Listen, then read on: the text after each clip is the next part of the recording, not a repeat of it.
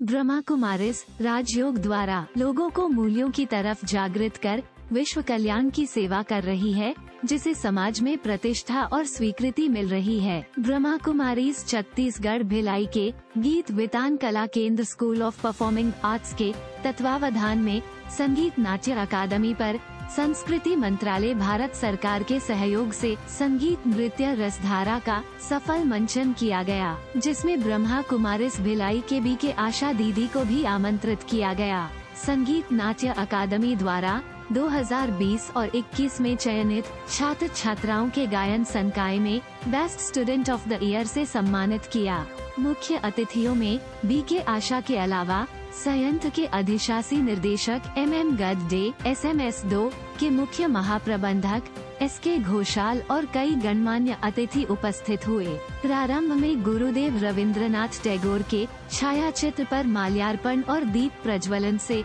आयोजन की शुरुआत की गई। कार्यक्रम में ब्रह्मा कुमारिस संस्था का परिचय भी दिया गया अंत में, गीत वितान कला केंद्र के तरफ़ से, बी के आशा को गुलदस्ता एवं उपहार देकर सम्मानित किया गया।